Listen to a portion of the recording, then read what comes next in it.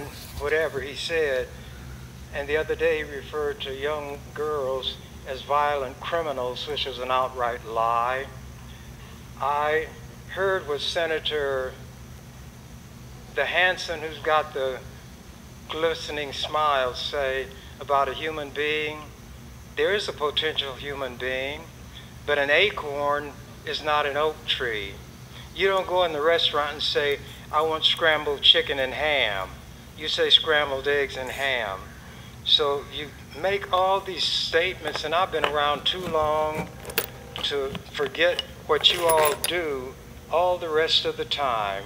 If a child comes here and the mother is poor, and we try to provide additional aid, you all become moralistic and say she shouldn't have had the, and some of you use the term bastard.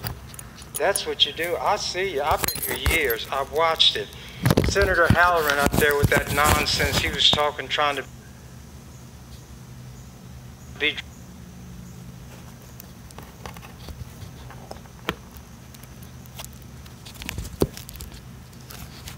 of you hypocritical men, you simple-minded women, make me ill. But I've seen it so much. Senator Slama, she's got a paper out there that lies on a woman, tells lies. Here's what they did, and I'm going to show it to you all. I can talk about anything because, as somebody said, no minds are going to be changed.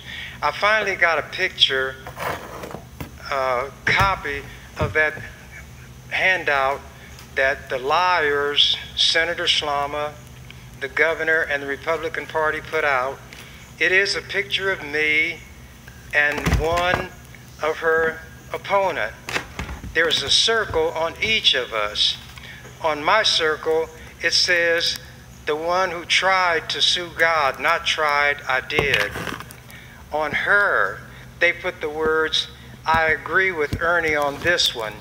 But Senator Slama lied when she put that on there because the World Herald or the Journal had a paragraph where she said, and this is her opponent, I agree with Ernie on this one, talking about the 30% raise given to Frakes, and she further said, I never got a 30% raise.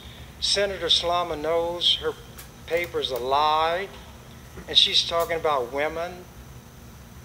All of this concern, straighten up and fly right, Senator Slama.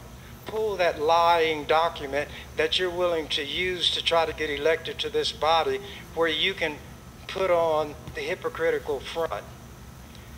I would one of these days want to talk to Senator Geist about what I read about a doctor in Arkansas who, now in Arkansas, is one of the worst prisons. The prisoners don't get any money. So this doctor decided that he could get a business started. He arranged with the prison system to let the convicts sell their There, with the doctor, with the convict, and with the prison system. Then this doctor got greedy and since many of the prisoners there were on drugs, they had an inclination toward hepatitis and a tendency toward AIDS, which he knew. He concealed it and continued to sell this blood. When the state authorities found out about what he was doing, they pulled any authority he had, but he still sold this blood internationally. He sold a lot of it to Canada, and a lot of Canadians fell ill, and there was a front page article about what this vicious doctor had done. So he made quite a bit of money.